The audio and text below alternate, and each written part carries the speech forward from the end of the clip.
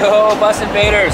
I'm Sean from Yellowcard. Come on up. We want to show you the the rolling Yellowcard house. Here we have a uh, beautiful 2008 XL2 with slide out. I was just making sure that all of my uh, Star Wars DVDs were in, in order. Can't leave home without these. In fact, I think there are three members of our crew who have never seen a single one of these films, which is absolute blasphemy. This is also this is the first bus we've been on in five years that has had the slide out that Sean was just talking about. So huge advantage. It's so much more comfortable. So much space for activities. We have a drummer, Longineu Parsons, that comes with the bus. He's, he's with us all the time. We're gonna get right into the uh, to the necessities here. Uh, occasionally, this is the, the fridge is built in here. So um, we have limited space, but occasionally we'll do the Walmart or the Target stop. You know, your, your microwave pizza, your uh, cinnamon liqueur.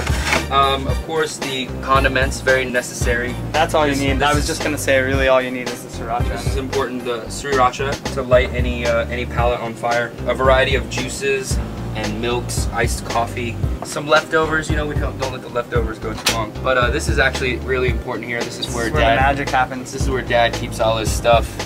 So just some party favors, you know, glass bottles Gentlemen- containing Gentlemen's drinks. gentlemen's really. drinks. Gentlemen's drinks. Also have the uh, some wine, some open, and also uh, some Baileys, you know, just for a hot toddy or something on a chilly winter day like today in Chicago.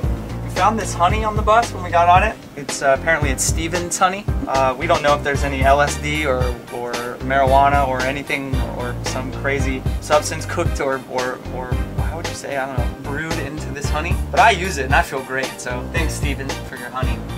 These are pretty essential for tour. Try not to drink, uh, as I was just sipping on a Red Bull. I didn't know this was in here. Try not to drink too many Red Bulls. Not that this is a whole lot better for you, but uh, it's really nice to have a five hour energy before the show. As you can see here, this is our bathroom. You know, it's uh, it's perfect, nice. You got the like little stone-looking, you know, wall in there for you know better ambiance kind of thing, and the lights, which look really nice. Nice mirror for people if you have your ladies out. You know, they can do their hair and makeup in there. Back here, you've got our bunk area. Actually, let me show you one cool thing. You know, this bus has the electronic doors.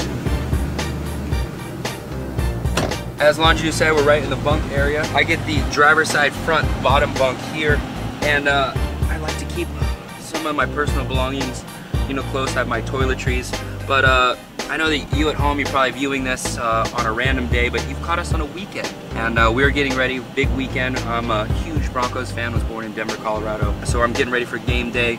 Ryan Key on the on the Saturday, he's over here. Uh, a Georgia fan through and through, and so he's got everything color coded.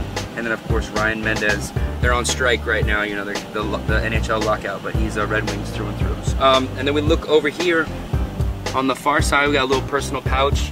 I got my contact case. Got to keep it close. And then I have the uh, the sunglass collection as well as the pajamas laid out for bed. When you're done with the show and you start to crash, you, you, you got to just run into bed. So so I'm prepared for uh, for all circumstances right here, driver, front, uh, bottom bunk.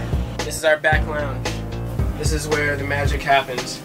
This is the chill out lounge. This is where our production manager and a tour manager like to do their business and work at the end of the day of work. You have your desk here. You've got two TVs so you don't have to break your neck trying to watch one or the other. Stereo system and this actually pulls out into a bed so if you have extra guests on board it actually comes out and it forms a nice leather bed. I'm glad that you came into the uh, the living room here. This is a coveted second place trophy here from the Vans Warped Tour uh, bowling charity bowling event. This This would have come in first place. My girlfriend got a bowling ball dropped on her foot and I had to leave early. I'm pretty proud of that. This is we're in November now, but we've we've carried it with us uh, since Warped Tour. So it's uh, it's part of the family. I think that thing will probably be on every bus from here out. Oh yeah, We got a brand new toilet on this tour. we did. We got a brand new toilet. Somebody broke the toilet, so we were fortunate enough to get a brand new one. It's I quite remember when I woke up that morning, you know, started to get ready for the morning pee, and it was like, ah. It's quite an investment, but Yeah. when you see a pearly white throne, it's like, man, we are we're really moving it's up. It's the little things, you know. Yeah. Slide out and a brand new toilet, Yellowcard. We are moving up in the world.